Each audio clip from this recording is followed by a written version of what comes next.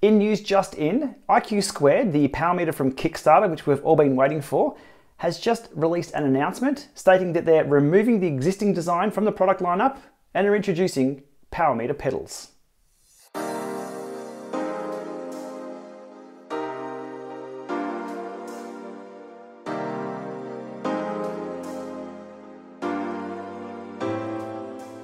The communication press release goes into all the details about the challenges to date, what they did to try and fix those, but what I'm interested in is these things here, what they're releasing in place of their power meter pedal plug. In dropping their original design, they've come up with two solutions for this, announcing both road and mountain bike power meter pedals in both dual and single sided. If you're a backer of this project on either Kickstarter or Indiegogo for either the dual or single sided version of the original unit, you will be receiving a dual or single-sided version of the pedals of your choice, either road or mountain bike. That's pretty significant if they can deliver on an accurate power meter for a full pedal.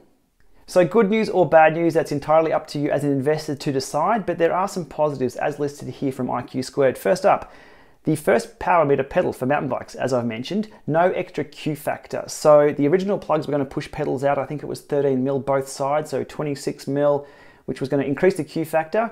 This is now gone, it's just a standard pedal. Easier installation, we've seen that with the Favero Assiomas, P1s, P2s, Vector 3s, all easy to install. No exposed casing, high quality Look Keo compatible cleats. They've gone with the Look Keo system, not Shimano SPD SLs. On the mountain bike side of things, they are releasing the pedals for the Shimano SPD system. They've also listed here high precision bearings and optimal aero caps. So I guess out of this, you still get yourself a pair of pedals, if anything. IQ Squared mentioned the prototyping and machining is underway for these units with a delivery date expected of around August 2019. Fingers crossed.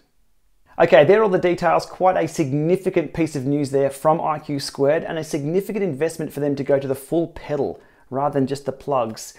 I think it's upside. I really do. And the reason being is because the alternative was to have no power meter at all or to have an inaccurate power meter. And that's just not my thing to have an inaccurate power meter. This option here, if it does pay off, you will be receiving a pair of pedals, either single or dual, depending on what you've invested in. So that's pretty good. Look, stay tuned on this one. I'm really keen to get a hold of maybe some prototypes and some demos and give people the data and see how they go here in the Lama Lab. So that's it for now. IQ squared, massive news, getting rid of that old design, in with the new. Right on.